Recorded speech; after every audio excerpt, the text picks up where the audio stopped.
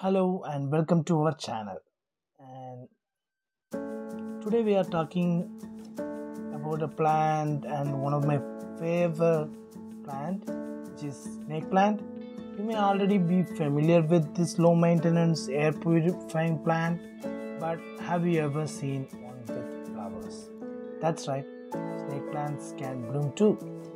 These flowers are unique, interesting, with a delicate scent and greenish white color. Plus, they can last for. Now, let's take a closer look at the snake plant itself.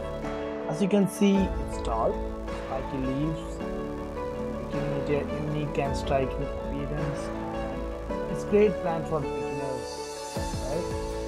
It, since it is requiring little watering and it can thrive in low light conditions, plus it can even help excellent plant. And if you're looking to looking to add a touch of green to your space, this plant is the one. Hope that helps, helps guys. Um,